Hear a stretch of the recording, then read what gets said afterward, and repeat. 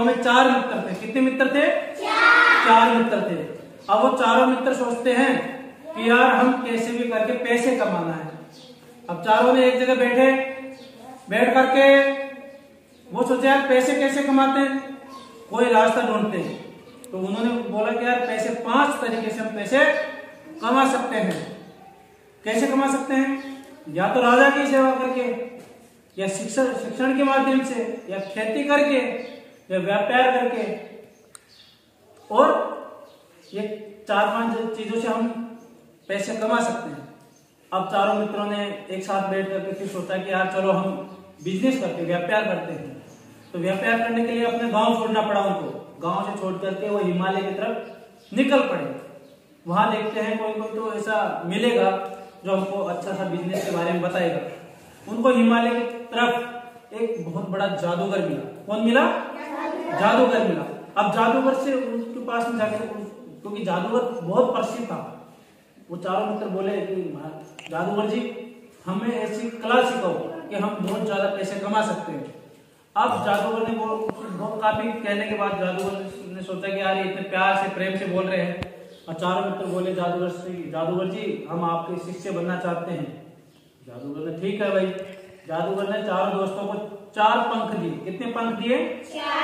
और बोला कि आप चले जाओ हिमालय की तरफ़। जहाँ पंख गिरता है वहाँ ही आप खोदना वहाँ आपको कुछ बेस्ट कीमती सामान मिलेगा। जैसे चारों दोस्त गए एक दोस्त का पंख गिरा नीचे।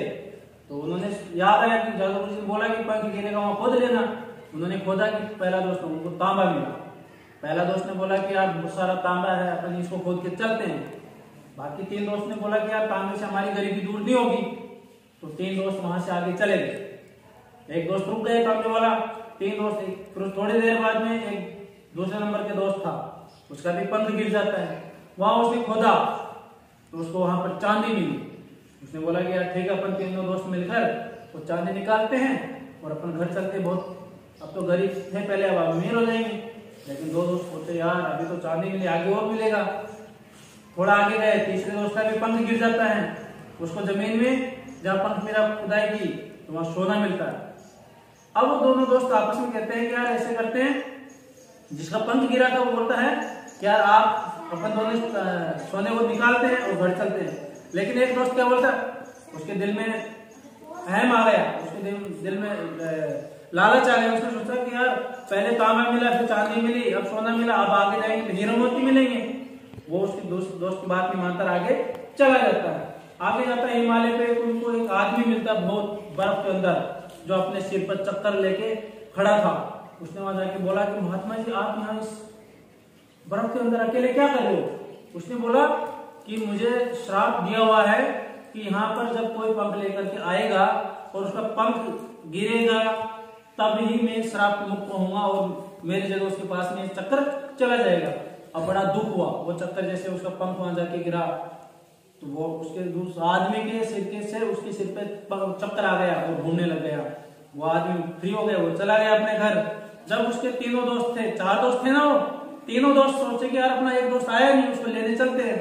तो वो उसको लेने के लिए गए तो देखा उसकी कंडीशन उसके सिर पे तो चक्कर घूम रहा था, वो खून निकल रहा था, वो बहुत परेशान था। तब उसने कहा था कि अगर आप हमारी बात, विवेक से हमारी बात मान लेते तो आज ये आपकी कंडीशन नहीं होती। इसलिए हमेशा अपने मित्रों की, अपने परिवार की माँ बाप की, समाज की, लोगों की बातों को भी थोड़ा ध्यान रखना चाहिए और उनकी बात को भी मानना चाहिए। क्योंकि हम कभी कभी किसी चीज़ को प्राप्त करने के लिए, पिछली चीज़ को छोड़ के आगे की चीज़ प्राप्त करने के चक्कर में हम नुकसान में भी, नुकसान भी उठाना पड़ सकता है। इसलिए हमेशा अपने ऐसे अच्छे दोस्त रखो और अपने परिवार की, अपने भाइयों की माँ बाप की और साथ की बात हमेशा मानना चाहिए।